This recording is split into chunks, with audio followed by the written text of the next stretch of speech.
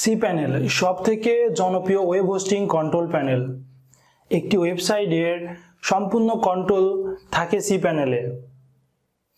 Website ডেভেলপমেন্টের মূল হাতিয়ার হচ্ছে সি প্যানেল। আমি আমার সম্পূর্ণ স্টেপ বাই স্টেপ ভিডিওটিউটোরিয়ালে দেখাবো ওয়েব হোস্টিং পারচেস করে কীভাবে সি প্যানেল থেকে আপনি ওয়েব মেইল ডোমেইন এবং ওয়েবসাইট কন্ট্রোল করবেন। আমি শাহিন নাদফি আপনাদের সাথে আছি। আশা করি আমার সম্পূর্ণ ভিডিও টিউটোরিয়ালের সাথে থাকবেন।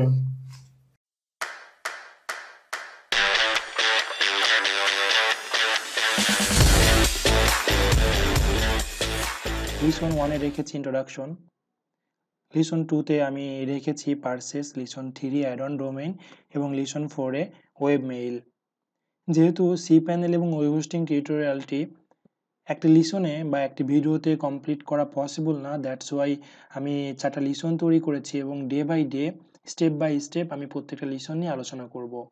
আজকে আমি আলোচনা করব ইন্ট্রোডাকশন নিয়ে দেন লিসন টুতে আমি আলোচনা করব পার্সেস নিয়ে লিসন থ্রিতে আমি আলোচনা করব অ্যাড অন ডোমেন নিয়ে এবং লিসন ফোরে আমি আলোচনা করব ওয়েব মেইল নিয়ে। প্রত্যেকটা ভিডিও আমি আজকে থেকে প্রতিদিন রাতে একটি করে ভিডিও আমার ইউটিউব চ্যানেলে আপলোড করব। ওকে চলুন আজকে ডিরেক্টলি চলে যাই ইন্ট্রোডাকশনে ইন্ট্রোডাকশন পার্টটিতে আমরা দেখতে পারব বা আমরা জানতে পারব সি প্যানেল কি ওয়েব হোস্টিং কি সি প্যানেল এবং ওয়েব হোস্টিং এর রিলেশনটা কি সি প্যানেল এবং ওয়েব হোস্টিং কীভাবে কানেক্ট করে, এবং ইভেন সি প্যানেল বা ওয়েব হোস্টিং কীভাবে কাজ করে, এগুলো আমরা মূলত আজকের ভিডিওতে দেখব। তো আমরা ডিরেক্টলি চলে যাচ্ছি ইন্ট্রোডাকশনে ওকে সি প্যানেল কি আমাদের জানতে হলে অবশ্যই আমাদেরকে জানতে হবে আসলে ওয়েব হোস্টিংটা কি? ওয়েব হোস্টিংটা যদি আমরা না জানি বা না বুঝি, তাহলে সি প্যানেলটি সম্বন্ধে আমরা বুঝতে পারব না। তো চলে যায় আসলে ওয়েব হোস্টিংটা কি? ওয়েব হোস্টিং হচ্ছে ওয়ান কাইন্ড অফ অ্যাক্টিভিটি বা বিজনেস যেটা আপনাকে প্রোভাইড করবে কিছু স্টোরেজ বা স্পেস যার কারণে আপনার ওয়েবসাইটটি আপনি অ্যাক্সেস করতে পারবেন বা আপনার ভিজিটরগুলো আপনার সাইটটি দেখতে পারবে। ওকে তো আমরা আরও বিষয়টি যদি ক্লিয়ার হতে চাই, তাহলে আমরা এই চিত্র দেখলে বুঝতে পারব যে আমাদের সাইটটি কোনো এক ওয়েব হোস্টিং বা কোনো এক ওয়েব সার্ভারে রাখা হয়। আসলে মূলত এই সাইটটিতে কি কি রাখা হয়? সাইটের কিছু ফাইল কিছু ইমেজেস কিছু ভিডিওস তো এগুলো রাখতে আমাদের একটি স্পেস প্রয়োজন হয় রাইট তো ওই স্পেস আমরা আসলে কোথায় পাবো? ওই স্পেস পাওয়ার জন্য আমরা যেই থার্ড পার্টি কোম্পানিগুলো আছে ডোমেন বা হোস্টিং প্রোভাইড করে, এমন কিছু কোম্পানি থেকে বা ওয়েব সার্ভার থেকে আমরা কিছু স্পেস আসলে কিনে নিই। তো এটা স্পেস পারচেস করার পরে আমরা সেখানে আমাদের ফাইলস ভিডিও অডিও ইমেজ এগুলো রাখি। তো দেন ওই সাইটের ডিজাইনটা তৈরি করি। কিছু কোড দিয়ে স্ক্রিপ্ট দিয়ে, ঠিক আছে? তারপরে যখন আমাদের ভিজিটরগুলো আমাদের সাইটটাতে আসে, তখন সে দেখতে পারে। ওকে আপনার মাথায় এখন প্রশ্ন আসতে পারে, যদি আমরা আমাদের সাইটটাকে ফাইলস ইমেজেস আমাদের পার্সোনাল যে ল্যাপটপ বা ডেস্কটপে আছে, সেটাতে রাখি, তাহলে দেখতে পারবে কি না হ্যাঁ অবশ্যই।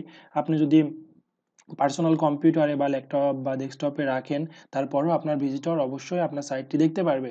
তবে অবশ্যই আপনাকে তিনটা জিনিস মেনটেন করতে হবে। তিনটা জিনিসের মধ্যে হলো ফার্স্টলি আপনাকে ল্যাপটপ ল্যাপটপ বা ডেস্কটপের পাওয়ার মনিটর টর্ন রাখতে হবে। আপনাকে অলওয়েজ আপনার পিসিকে অলওয়েজ অনলাইনে রাখতে হবে এবং আপনার ব্যান্ডউইথ ইন্টারনেট স্পিড অবশ্যই বেটার হতে হবে। এবং আপনার যে ল্যাপটপ বা ডেস্কটপ বা পিসির কনফিগারেশনটা অনেক ভালো হবে। কারণ একই অ্যাট এ টাইম যখন অনেকগুলো ভিজিটর আসবে, তখন আপনার পিসির কনফিগারেশন যদি খারাপ হয় র্যাম যদি কম থাকে, তাহলে লোড নিতে পারবে না। দ্যাটস ওয়াই তারা আপনার ওয়েবসাইটটি দেখতে পারবে না। তো তাহলে বুঝে ফেলছেন যে আসলে আমাদের নিজস্ব পার্সোনাল ল্যাপটপে বা ডেস্কটপে এভাবে সার্ভার তৈরি করা পসিবল না। কারণ আমরা কেউ সবসময় পাওয়ার অন করে রাখি না। অলওয়েজ ইন্টারনেট কানেকশন থাকে না, আবার কনফিগারেশন খুব একটা ভালো না, আবার ব্যান্ডউইথ আনলিমিটেড না। দ্যাটস ওয়াই আমাদের কোনো কোম্পানি বা আমাদের থার্ড পার্টি ওয়েব হোস্টিং প্রোভাইডারের কাছ থেকে আমাদের কিছু স্পেস কিনে নিতে হয়। যেই স্পেসে আমরা ফাইলস ভিডিও ইমেজ অডিও রাখি এবং আমাদের ডিজাইনটাও করি স্ক্রিপ্টটা ইনস্টল দিই কোডগুলো রাখি। দ্যাটস ওয়াই এবং তারা তাদের সার্ভার বা পিসি বা যেখানে রাখি, ওইটাকে অলওয়েজ অলওয়েজ ইন্টারনেট কানেকশন দিয়ে রাখে। ইভেন ওর ব্যান্ডউইথও থাকে অনেক ভালো। ব্যান্ডউইথ স্পিড ইন্টারনেট স্পিড অনেক ভালো থাকে। দ্যাটস ওয়াই আমার ভিজিটর যেখান থেকে হোক পৃথিবীর বা যে ডিভাইস দিয়েই হোক ল্যাপটপ ডেস্কটপ অথবা মোবাইল ফোন তো তারা আমাদের সাইটটি দেখতে পারে, আমাদের ওয়েবসাইটটি দেখতে পারে। তো আশা করি ওয়েব হোস্টিং সম্বন্ধে আমরা সবাই এতক্ষণে পূর্ণাঙ্গ ধারণা পেয়েছি বা ক্লিয়ার হতে পেরেছি।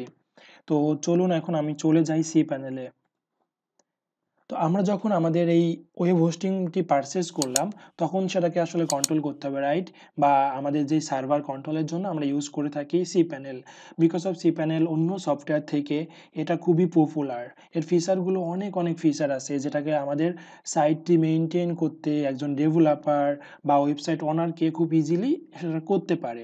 তারা সি প্যানেল থেকে তাদের কোডগুলো স্ক্রিপ্টগুলো ইনস্টল করতে পারে, তাদের ফাইলগুলো আপলোড করতে পারে ইমেজগুলো আপলোড করতে পারে ভিডিও আপলোড দিতে পারে তো খুব সহজে যেটা সি প্যানেলে করা যায়। হ্যাঁ সি প্যানেল বাদে আরও কিছু সফটওয়্যার আছে যেগুলো দিয়েও আপনি আপনার web hosting web server control করতে পারেন, সেগুলোর সাথেও আমি পরিচয় করে দিব।